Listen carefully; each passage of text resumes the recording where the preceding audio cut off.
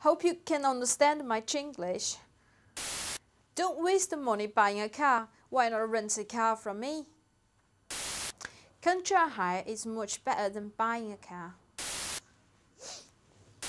www.lingscars.com Thanks for watching. Bye. I can't do anymore. Just that's uh, over my